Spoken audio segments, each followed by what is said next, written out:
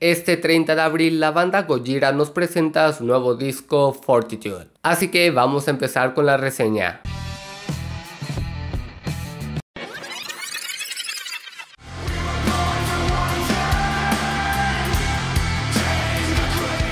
Los fans de Gojira sabíamos que desde el año pasado la banda estaba trabajando en un nuevo disco, y al parecer esta cuarentena le cayó muy bien para enfocarse en la producción, grabación y composición de este disco. El año pasado la banda nos presentó su primer single titulado Another World acompañado de un video musical. La canción fue disfrutable, a lo mejor algo sencilla pero nos estaba preparando o nos estaba dando una idea de lo que sería el nuevo disco. Y en febrero de este año Gojira ya lo hace oficial que el 30 de abril sacará su nuevo disco y se titulará Fortitude. Ese día la banda lanzó el arte del disco y el listado de canciones, lo cual a mí me sorprendió de cierta forma porque cada canción era representada por un símbolo por lo que podíamos ver que Fortitude iba a tener esta parte filosófica y hasta simbológica que Gojira ha venido trabajando en anteriores discos. Ya así lo confirmó Joe Duplantier, Fortitude está inspirada en la filosofía tailandesa y tibetana que el guitarrista leyó en su juventud, en especial el libro tibetano de la vida y la muerte. Aquí les va un pequeño spoiler si no han escuchado el disco. Muchas veces las canciones de este trabajo se van a enfocar en el daño que le estamos haciendo al planeta y la paz. Según el guitarrista y vocalista, Gojira quería volver en este trabajo a sus influencias más antiguas, ya que no siempre fueron una banda de death metal. Hasta comentó que él es fan de Michael Jackson y le gustaría que este trabajo tuviera cosas progresivas. Este trabajo de Gojira, ¿cómo explicarlo? Algunos dirán que la banda busca entrar a un mercado más comercial, general y que ya se vendió.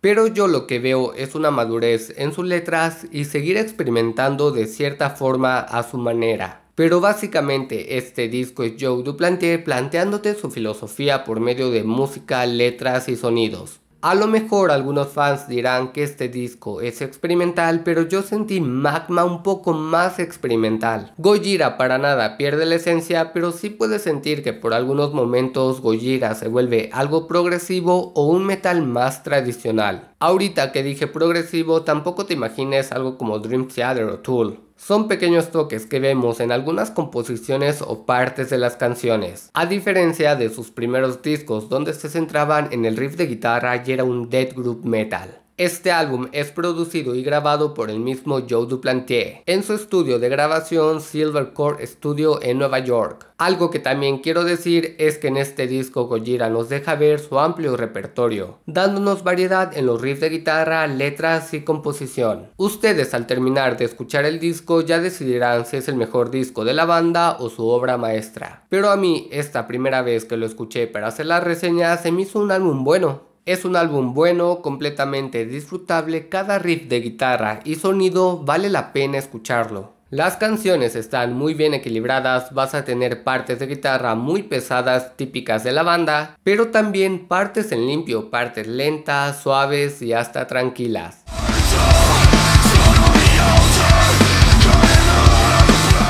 El disco arranca con Born for One Thing, en parte este fue su primer sencillo si no contamos Another World. La canción me agrada, es prometedora y te prepara para lo que viene en el disco. Y más con los riffs característicos de Gojira, que yo amé demasiado esta parte.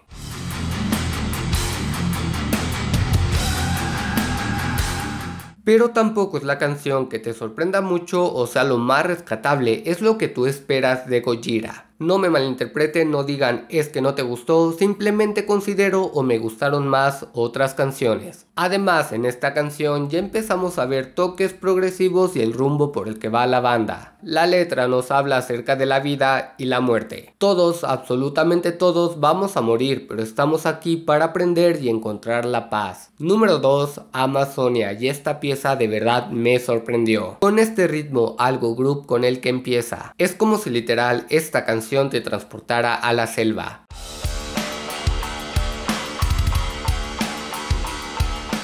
Aunque es cierto, esta canción es más lenta que la primera. Iniciando con las voces de esta canción, se podría decir que sigue el camino de su anterior trabajo Magma. El guitarrista y vocalista Joe Duplantier menciona que en parte esta canción es un tributo a la banda Sepultura. A Joe Duplantier no le importó la comparación que hicieron con Sepultura, sintió que era un halago. Creo que esta canción es la más evidente con temática de cuidar el medio ambiente. Llegamos a Another World, una de mis canciones favoritas de este disco.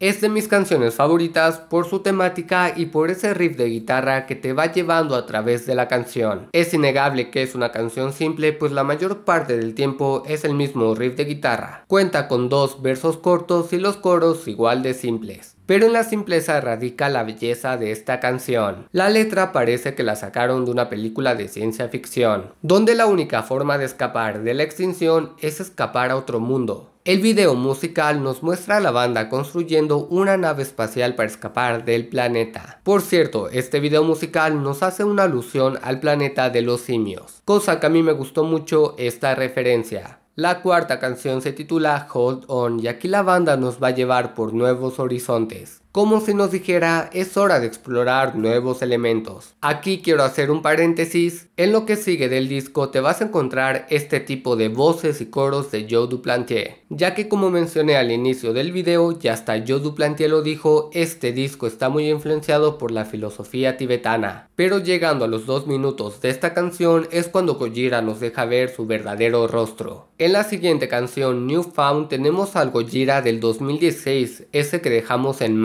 De hecho, esta canción si lo hubieran incluido en Magma, pues no hubiéramos notado la diferencia. Y llegamos a Fortitude, la canción que le da el nombre al disco. Y desde el inicio vemos que esta canción está muy influenciada por la temática del disco, o sea, filosofía tibetana. Una voz melódica de Joe que te va llevando junto al bajo. La canción es muy corta, dos minutos de duración y parece más un intro para la siguiente. Séptima canción de Chant y en esta canción me quedé, si estoy escuchando a Gojira, pues esta canción se aleja completamente de la banda que conocemos.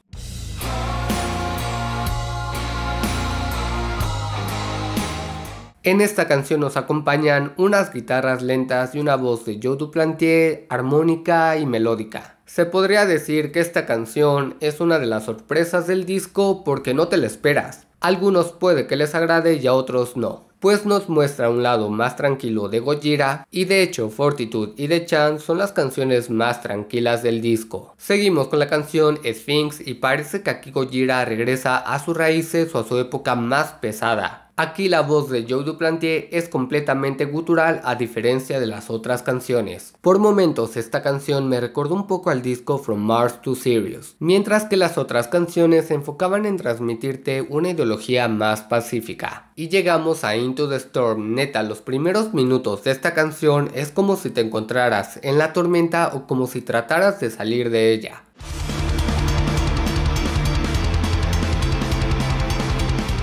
Aquí vamos a tener una batería marcando el ritmo acompañado de unas guitarras que van avanzando. Y tenemos un momento de silencio antes de que la banda entre con todo.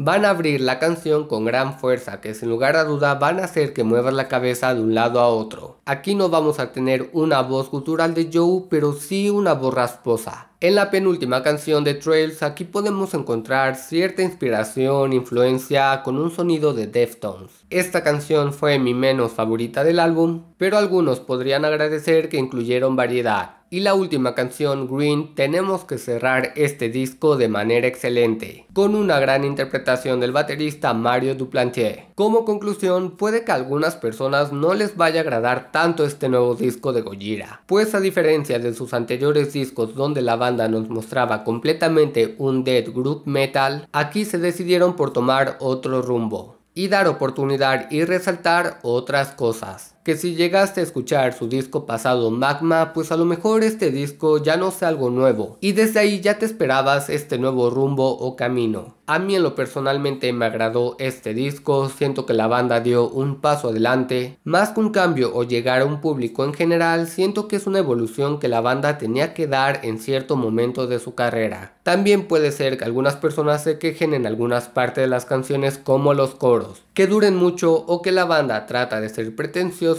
en los detalles pero a mí me sirvieron muy bien estos momentos para lograr apreciar el disco. Sí disfruté el disco, pero siento que la única canción que me salió sobrando fue The Trails. Pero algo que estoy seguro es que este nuevo disco va a dar de qué hablar entre los fans de Gojira. El día de ayer me encontré algunas reseñas que le daban 5 estrellas, otras 4 y otras 3. Así que ustedes díganme qué les pareció.